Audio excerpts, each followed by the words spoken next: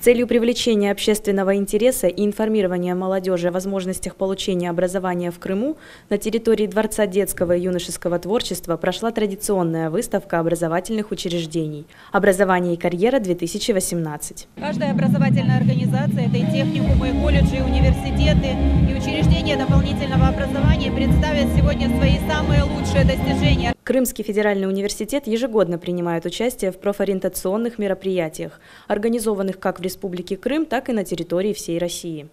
Традиционно Крымский федеральный университет сегодня участвует в выставке «Образование и карьера». А, КФУ отличается многообразием в направлении подготовки, и поэтому подготавливать специалистов практически для любой области профессиональной деятельности.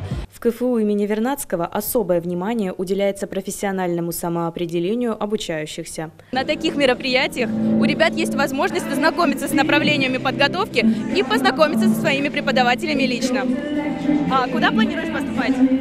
Я хочу поступить в Крымский федеральный университет. Я думаю сюда поступать. Мне было очень интересно именно найти этот университет среди многих университетов. Вот. И, в общем-то, посмотреть направление, еще больше узнать. Более 30 образовательных организаций Республики Крым презентовали услуги по наиболее востребованным и перспективным направлениям подготовки. Алена Арцебашева, Николай Шульга, пресс-служба Крымского федерального университета.